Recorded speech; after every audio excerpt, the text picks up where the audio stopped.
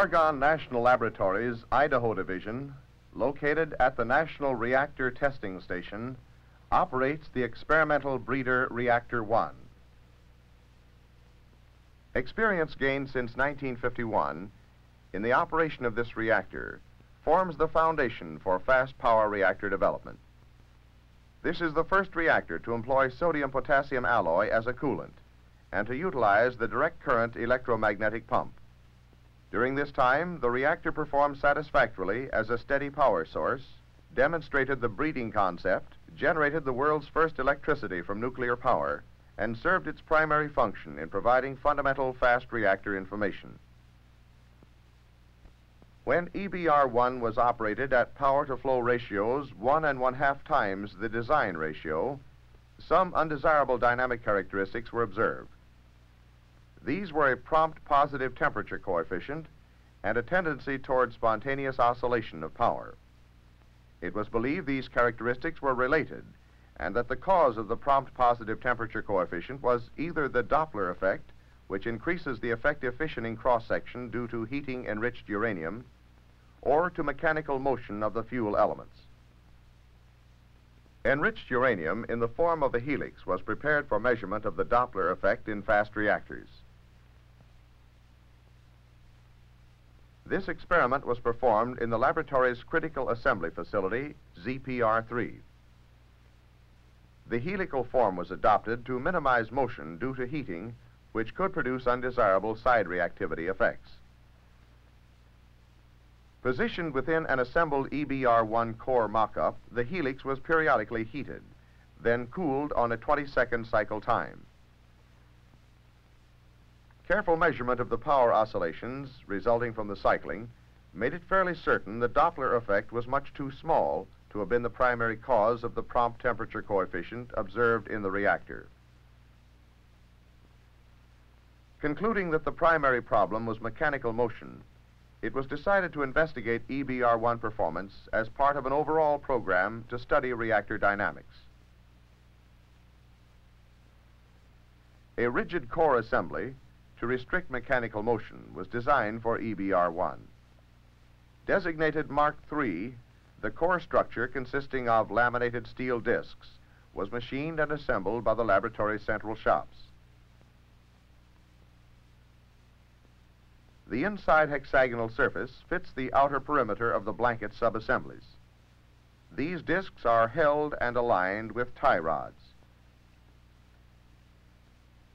Paralleling the assembly of the core structure, fabrication of Mark III fuel was underway by the Metallurgy Division. The fuel for the Mark III core is uranium enriched to 93%. The blanket is normal uranium. Both blanket and core uranium are alloyed with 2 weight percent zirconium.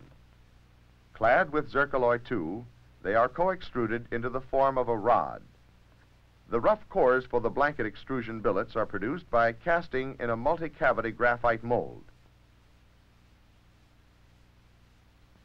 The enriched uranium is melted in a 5 kilogram batch and cast in a single cavity mold. A graphite crucible coated with ceramic wash is charged with the uranium biscuit and zirconium sponge for the blanket alloy.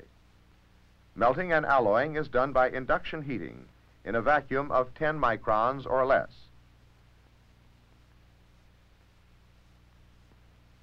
After alloying, the metal is bottom poured into the mold by lifting a stopper rod.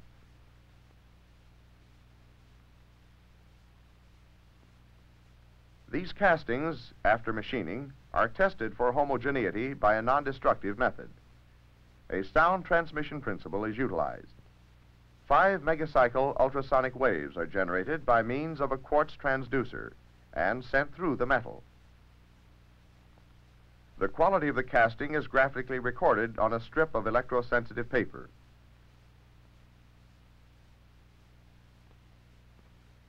The casting, after further machining, yields two extrusion billet cores. These cores, assembled with copper nickel end plugs, are encased in a sleeve of zircaloy 2. A copper jacket is added to prevent contamination of the billet components during heating and to provide lubrication during extrusion.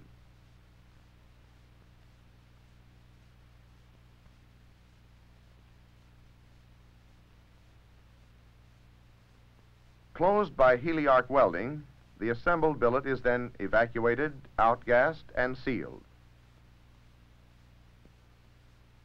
The billets are co-extruded by Nuclear Metals Incorporated to rods of one half inch diameter. Upon return, they are inspected, pickled to remove the copper, and swaged to a specified diameter. Heat treated for stabilization, the rods are cut to appropriate fuel and blanket lengths and the cladding thickness measured.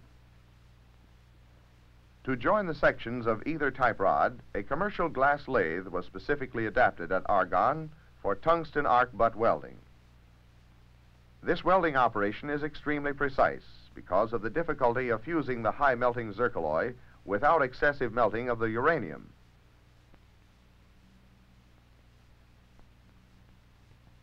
A 10 mil zirconium spacer disc separates the enriched and blanket sections on each fuel rod.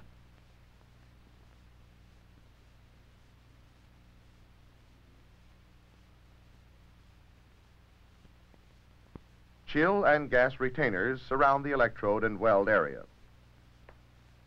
Welding is purposely limited to the 20 mil zircaloy cladding and is made in a double pass, each pass requiring a different welding current.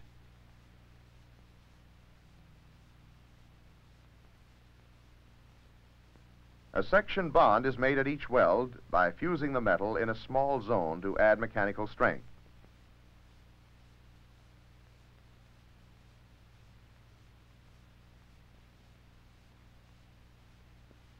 The cladding is protected against oxidation by passing a stream of helium through the Vycor tube.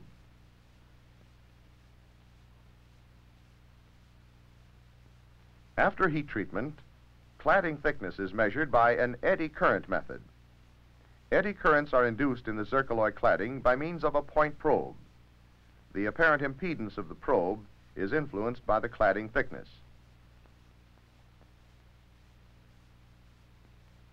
The bond on the rods is then scanned by the ultrasonic transmission technique.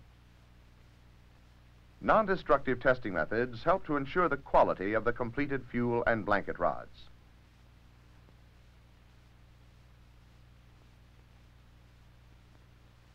Zirconium ribs are spot welded to rods ground to their finished diameter. These will provide accurate spacing of the tightly clustered rods in their final geometry.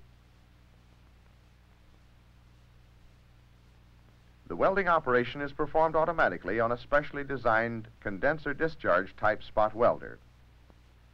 Welds are placed at one quarter inch intervals along each of the three ribs, a total of 240 welds per rod. Machining operations complete the fuel and blanket rod fabrication.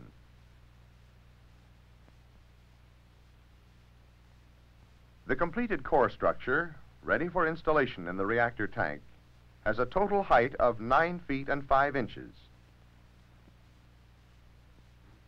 The reduced diameter at the bottom will receive the core and inner blanket rods. The structure rests on this shoulder, with the inlet plenum chamber located just above the upper blanket.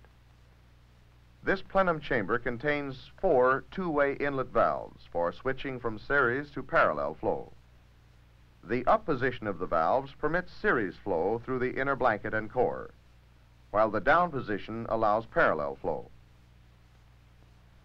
The plate above the inlet plenum chamber has seal rings to prevent bypass leakage between the inlet and outlet plenum chambers.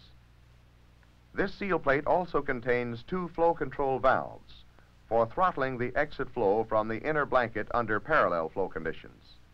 Under series flow conditions, these valves are closed.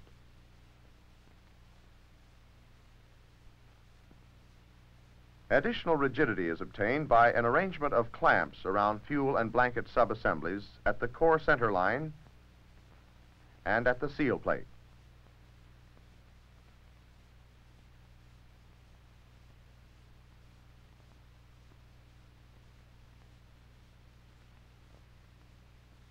The upper part of the structure is primarily shielding with an overflow plenum chamber near the top. The top plate holds the actuators and position indicators for the various valves and clamps in the structure.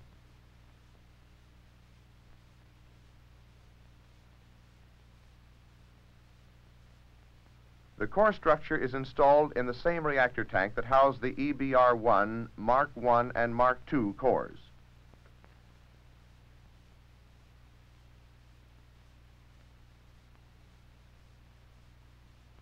Fuel and blanket rods, with their attached extensions for handling, are positioned within a hexagonal can.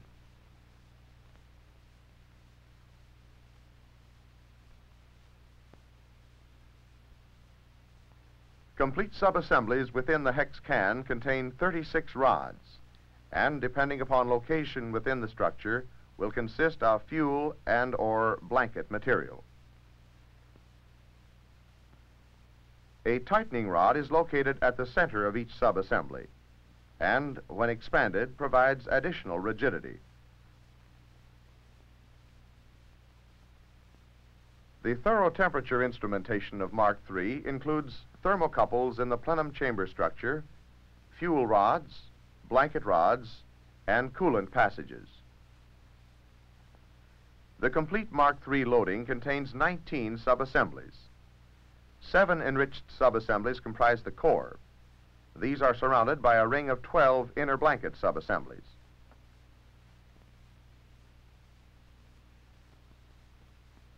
Criticality was achieved on November 11, 1957. It was determined to be 47 and 4 tenths kilograms of uranium-235, within 2% of the critical mass determined from the mock-up of the core on the Zero Power Reactor 3.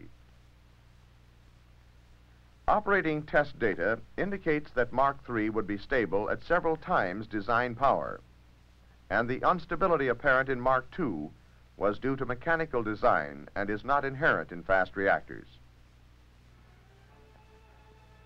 This investigation of reactor dynamics is continuing and will establish parameters affecting the stability of fast reactors.